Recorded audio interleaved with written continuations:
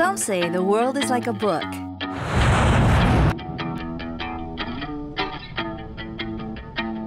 And this is how I read these few pages alone.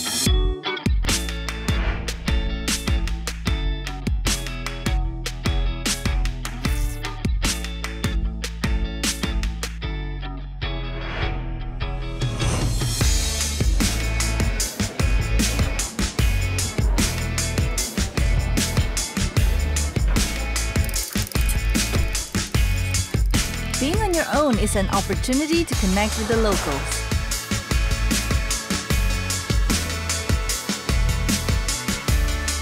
Even if you don't speak the same language, the language of facial expressions and body gestures is universal. It even adds to the fun factor. You'll feel more immersed in your surroundings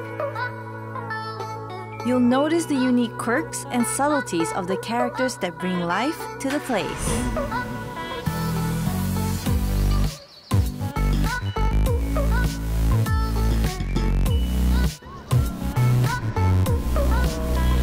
Giòn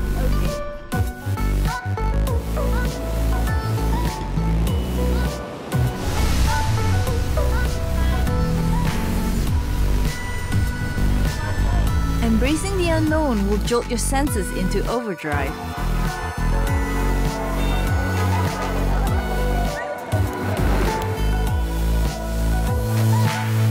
Learning through experience, in receiving and giving whatever I could in that little corner of the world, gives me a different perspective of life.